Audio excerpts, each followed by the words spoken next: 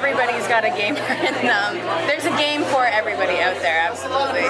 Did you meet? We don't necessarily want to contribute to romance being shoved down your throats on Valentine's Day.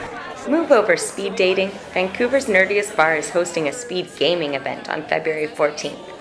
Guests will pair up to play a board game for stints of 10 minutes before switching partners. There's something about the physical connection or the personal connection of sitting across from the table from somebody, learning and talking about a game rather than just online.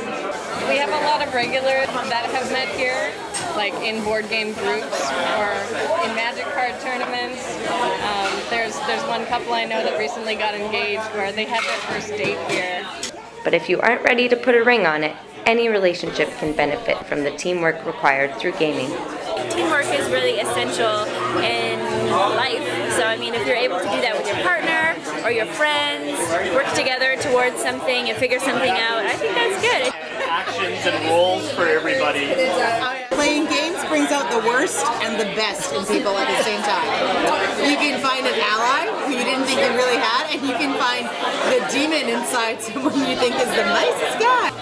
And while this Valentine's Day event is ticketed, meeting new people doesn't have to put a dent in your wallet. I think having a place like this where there's almost like a point to going out that again doesn't involve drinking or spending a whole lot of money. Um, you actually get to talk and hang out.